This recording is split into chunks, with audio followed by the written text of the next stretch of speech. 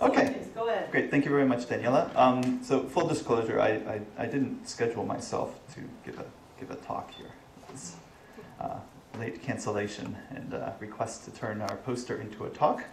Um, as Linda really helpfully pointed out in her, her talk the other day, these things start with an abstract and we have all of these great ideas and great plans and of course then reality sorts, inserts itself. And, um, so our initial intention here was to look at the entire Africa CORDEX on, um, ensemble to explore the dynamics that are important for the seasonal cycle of precipitation over East, East Africa um, in particular.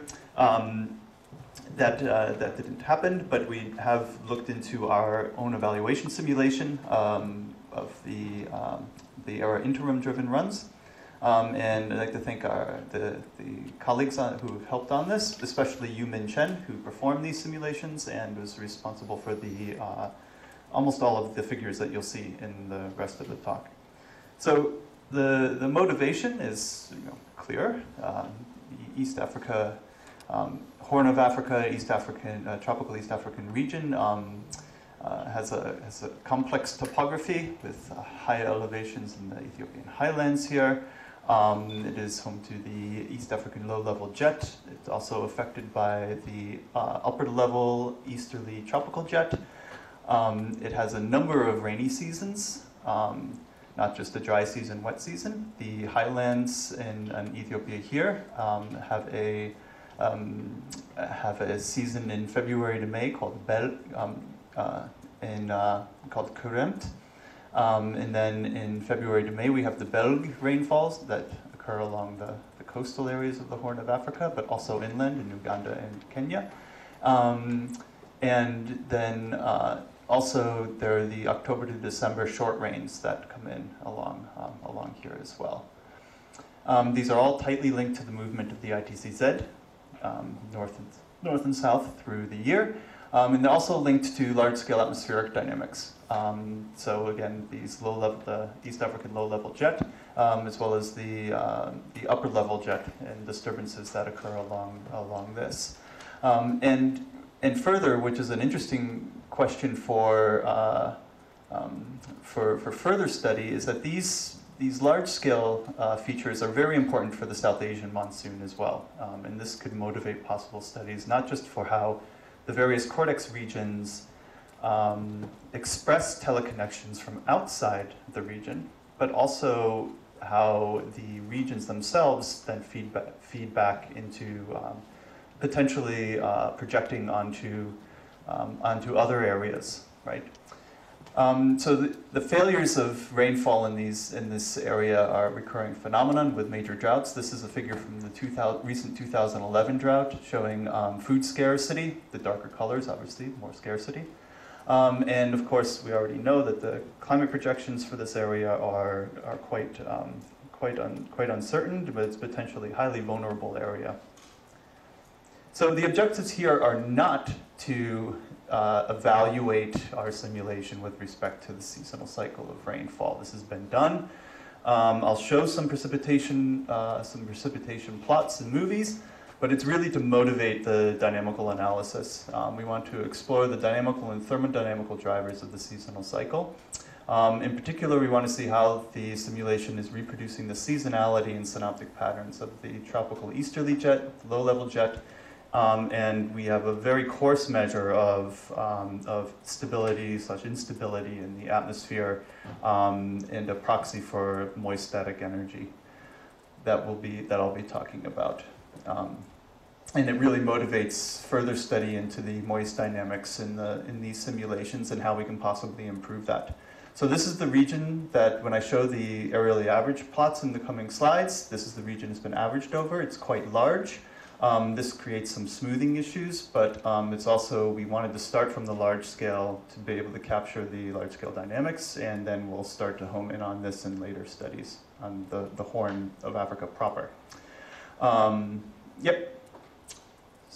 So, and that was annual rainfall, by the way, for the uh, ERA interim period. So you can, um, this is from our simulations. So this is the highlands, which is captured quite well. Um, this is more Central Africa. I won't be talking about that so much. Um, and yes, move on. So the seasonal cycle here, this is the hourly average. This is for ERA interim, GPCP, CRU, and TRMM. And here's our nice WRF simulation down here. So you can quite nicely see that we capture these, these seasonal cycles with this area averaging get superimposed on top of each other. So we capture the February to May um, Belg, and the um, in the short range of October, November, December quite nicely. And all of these products show similar patterns. Um, yeah, there we go.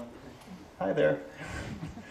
and so the WRF simulation only captures this um, this peak in this peak in late summer, and there's so the Karemta rainfalls that are the orographically induced rainfall rains over the um, Ethiopian highlands. Um, and we can see that here in these in the movies. So this is ERA interim on the left um, and WRF on the right, going through the annual cycle. In particular, I want you to look at what isn't happening along here in the WRF simulation. Um, we know ERA interim also has its problems with uh, with with precipitation. Um, but if we look at two of the other products here, GPCP and TRMM, we see that they um, you know, the ERA interim and also quite shows this as well, but these products also show quite clearly the precipitation um, along the lowlands that is missing in the, in the WRF simulation.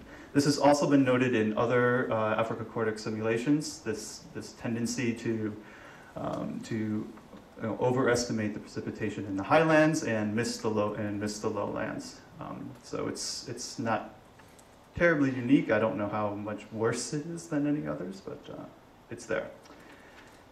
So what's going on with the dynamics? And is, is this a source of some of these, some of these issues? Um, this is the aerially averaged uh, upper level and uh, low level jet. Um, it actually, the WRF simulation on the right, or interim on the left, um, the simulation actually quite accurately captures the um, east, tropical easterly jet and the seasonality. This is their interim, this is WRF. Um, it's a little bit too strong if you look at the, um, I think it's, oh, you, wait, wait, just want to make sure that that's the right one there. Um, yeah, their interim was stronger on this one, so. Um, and so it's a little bit weak, sorry, in the, in the, in the WRF simulation. Um, and down at the, at the lower levels, it's, um, no, you're right, too strong, sorry. And uh, down at the lower level, though, it's quite close to, um, to reproducing the seasonal cycle and the magnitude of the East African low-level jet.